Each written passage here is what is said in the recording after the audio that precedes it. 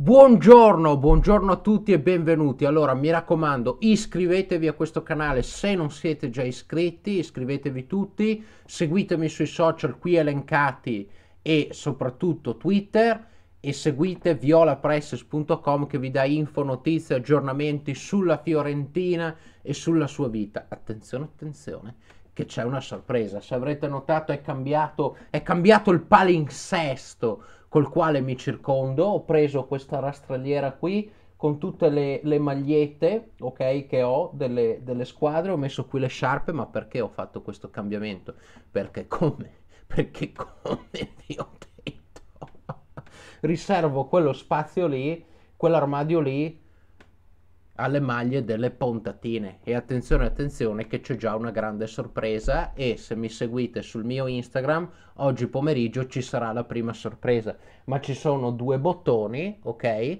E sono proprio lo spazio giusto riservato alle due alle due magliette con le due pontatine di calciomercato che quest'estate ho preso e saranno appese lì, ok? Una del Milan e una della Fiorentina con il nome girato, diciamo, in, retro, in retrovisione, in retrovisione. Quindi qui le magliette e le sciarpe e quello l'armadio delle pontatine, che andremo ad aggiornare sessione dopo sessione in base alle pontatine di calciomercato che prenderemo, di modo che sarà tutto un circondario di magliette, va bene, con la magica poltrona eh, leopardata con il trono alle spalle. Eh questa è qualità, ragazzi, questa si chiama qualità. E a proposito di qualità, attenzione, attenzione, perché in questa settimana e mezzo di pausa nazionali voi non vi dovete disperare, non dovete essere scontenti o paurosi, va bene? Perché ci penso io a tenervi compagnia, sono io il vostro Netflix, perché nei prossimi giorni vi spiego un po' il palinsesto. Domani intanto, domani sera per abbonati intermedi, domani sera ore 20 e 30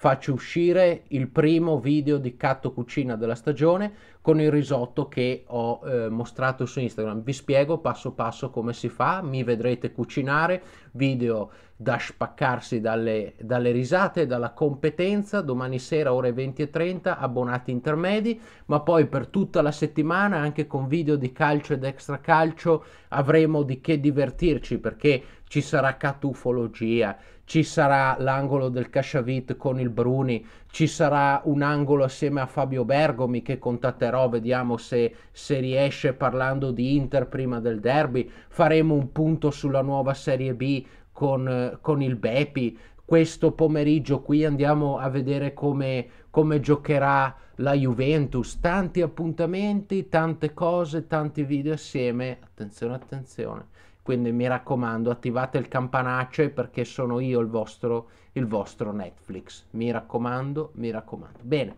veniamo al video di oggi che si solstanzio in due, in due questioni inerenti alla Fiorentina.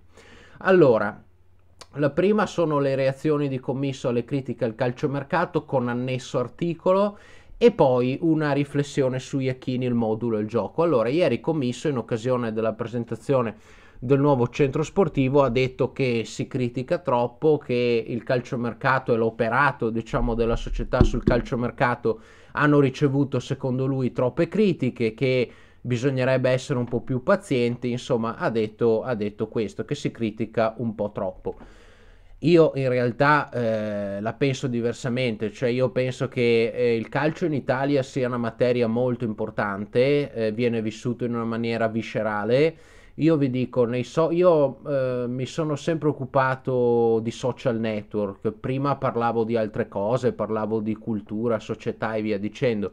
Ritrovandomi a parlare di calcio, vedi proprio che il calcio in Italia viene preso con una passionalità, con una con una foga che è veramente è, è, totalizzante, diciamo. Poi c'è da dire che abbiamo anche dei difetti in Italia da questo punto di vista.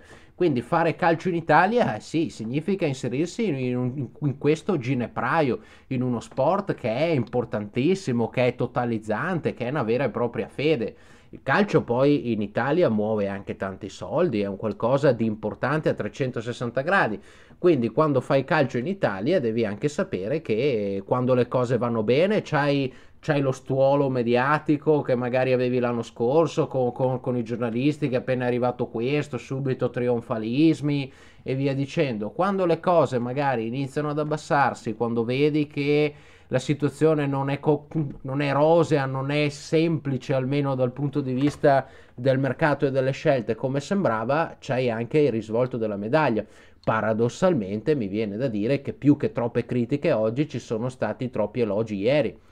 E elogi che poi, come, come dicevamo anche ieri, eh, quando sono eccessivi e quando innestano speranze che sono eccessive, poi rischiano di ritorcerti contro, capito? Ma con questo non sto dicendo che è colpa assolutamente della società, è una situazione che si è creata quella magari di aspettative esagerate, di una, di una scarsa conoscenza di cosa vuol dire oggi fare calcio durante il fair play finanziario, eh, del, del, fare calcio diciamo al giorno d'oggi in cui c'è bisogno di dirigenze eh, sul punto, di, di, dirigenze col pelo sullo stomaco che ti aiutino a farlo, specie se, se sei un novizio eh, del calcio e, e, e poi va anche così va anche così in Italia, ma poi io penso onestamente, se posso dire la mia, ho letto sì qualche giornalista eh, che si è lamentato, qualcuno che, che, ha anche detto chiaramente che secondo lui la, la società ha sbagliato, ma ho sempre letto toni molto, molto democratici, toni molto concilianti, toni molto educati e toni assolutamente leciti. Anche la conferenza stampa che abbiamo visto co- con il DS l'altro ieri ma mi, mi, è sembrato un clima assolutamente normale, un clima anzi disteso, un clima in cui il direttore sportivo ha potuto spiegare quello che aveva, quello che aveva fatto, non mi pare che siamo nella contestazione. Certo, se poi vai a vedere i commenti dei tifosi, le fanzine e via dicendo, ma quella è una dinamica, una dinamica normale.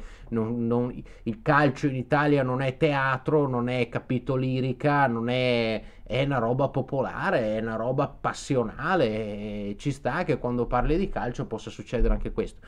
Vi segnalo e vi metto in descrizione un bel articolo del nostro eh, miglior regista e capitano in pectore della, della Fiorentina, Cyril Terò, che mi manca da pazzi. Mi, è, mi, ha fatto così piacere vederlo allo stadio durante Fiorentina-Sampdoria, veramente. Mi manchi Cyril, mi manchi veramente tanto. Grandissimo, sottovalutato oltretutto, eh? giocatore ampiamente sottovalutato, signor attaccante quando, quando, giocava, quando stava bene, quando era Udine, quando era anche, anche i primi 4-5 mesi da noi e via dicendo. In ogni caso, eh, gli hanno fatto un'intervista sulla Fiorentina e lui ha un giudizio sul calciomercato diverso dal mio perché lui dice che manca, manca, un attaccante, una vera e propria punta da 20 gol, dice che però difesa e centrocampo si sono, si sono rafforzati, qui sono, io sono dell'opinione un po' diversa, nel senso che avrei rafforzato meglio il centrocampo e, e sulle punte lavori Iachini. Ehm, ecco, il nostro schema quest'anno per me, il mio vero viaggio di scoperta a livello schematico è un 3-5 Iachini 3-5 e poi Achini buon lavoro che, che devi, devi, implementarci l'attacco.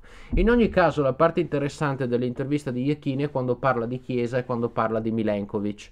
Cioè su Chiesa dice una cosa che tutto sommato penso anch'io, cioè che eh, in queste ultime ore si sta scaricando sul giocatore sostanzialmente tutta o quasi la responsabilità di come è andato l'affare, dei suoi comportamenti e via dicendo, eh, quando in realtà sapevi da tempo eh, cosa il giocatore pensava e anche Terò dice il vero errore è stato quello di non cederlo l'anno scorso, ormai è diventato un mantra questo, è, è diventato veramente un mantra e qui secondo me ha ragione.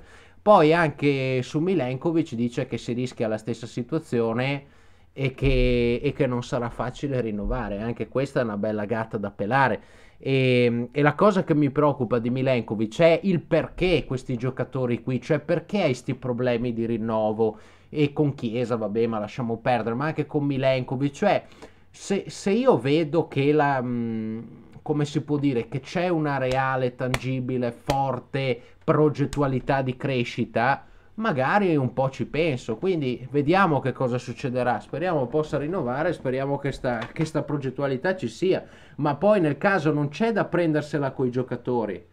non c'è da prendersela con i giocatori, bisogna vedere eh, che tipo di convincimento tu offri a questi giocatori prima di giudicarli. Se, se, anche Milenkovic è fortissimo come difensore, secondo me, è uno che può ambire a giocare in una squadra che fa l'Europa, che fa anche la Champions volendo se questo lo si sa, se questo lo sa lui, se questo lo sa il procuratore, se lo sanno delle squadre che lo cercano, hai poco da colpevolizzarlo nel caso perché non se la sente di stare in una Fiorentina che, che magari quel livello non lo raggiunge. E purtroppo è anche questo il discorso da fare e vale anche per, per i Chiesa e per, e per, tutti gli altri. Poi, in ultima istanza, eh, vi dico di Iacchini, una cosa, una pepituzza che aggiungo dal video di ieri attenzione a non pressurizzarlo troppo Iachini, perché io ho come l'impressione che ehm, Iachini eh, stia un po' pagando il fatto che si sia detto resti, però ci devi far giocare bene. E siccome io credo a quella cosa che disse Gattuso, cioè che chi nasce tondo non può morire quadrato, quadrado, a volte rischi di fare delle cappelle perché se lui vuole impressionarti cercando di fare un qualcosa che non fa parte delle sue corde, tipo il fare giochi sarriani, giochi briosi, giochi guardioliani, ma lui non ha quella filosofia, rischi di fare un mappazzone. Allora è perché sento giornalisti dire deve cambiare schema, Iachini cambia il suo schema, ma suo schema di che? Che sto 3-5-2 l'ha fatto Montel e ha fatto anche bene secondo me, ma non è lo schema di Iachini questo, questo è uno schema di Montella che Iachini ha proseguito, non è il suo schema. E siccome vedo tutta, tutta la stampa adesso, tutta la critica che ha messo nel mirino lo schema, che ha messo nel mirino lo schema, ok? Non vorrei che, che Iachini deviasse dal suo percorso o da sue credenze, che magari sono più giuste di quelle che vengono riportate sui giornali, perché c'ha sta fetta di critica o magari sente che in società o, o, che, o, che, qualcuno vuole che la Fiorentina giochi bene, ma se lui non ha nelle, nelle, sue corde, nelle sue volontà e nella sua filosofia calcistica il fare un calcio di possesso, un calcio di gioco, un calcio di dominanza, eh, non importa, dovevi pensarci prima. Adesso che l'hai confermato, lo confermi e gli fai fare quello che lui sa fare Catenaccio, vabbè, magari facciamo anche dei buoni risultati, magari col catenaccio di Iachini chi lo sa che non va in Europa, ma ha poco senso secondo me adesso stare qui a, a, a dire a Iachini che deve diventare Sarri. Iachini non è Sarri, Iachini Iachini e faccialo Iachini. E deve avere la massima fiducia perché Iachini è Iachini e non è Sarri. Quindi io spero, anzi, che Iachini non, non, si faccia deviare troppo, perché rischi di fare peggio. Iachini deve ragionare con la sua testa, con le sue volontà, con le sue abitudini, col suo modo di fare calcio, perché sennò rischi di fare un mappazzone peggio, che non è né che non vai a prendere né i pregi di Iachini, né i pregi di chi vorresti fosse Iachini. E, e, quindi, visto che hai confermato Iachini, viviamo, viviamo di iachinismo, ma che sia iachinismo vero e non anacquato, perché è Iachini il nostro allenatore, e eh, non è Sarri. Valutiamo Iachini per come è Iachini, poi se avrà fatto male a fine anno o e ci tocchiamo anche i maroni, magari prima eh, prendiamo delle conseguenze, se avrà fatto bene va bene, vuol, vuol, dire che ha fatto le cose come si doveva e magari usando la sua testa e non quella di altri. Quindi se Iachini è allenatore, faccialo Iachini e non, e non cerchiamo scimmiottamenti di Juric, di Sari e via dicendo. Spero che non si faccia condizionare da queste cose perché vedo già adesso sento Iachini cambia modulo, Iachini sta provando modulo. No, Beppe, vai avanti, se non sei sicuro, vai avanti per la tua strada e, e gioca come sai giocare. Poi i risultati li vedremo. Questo io penso. Caro saluto e a dopo per video sulla Juve.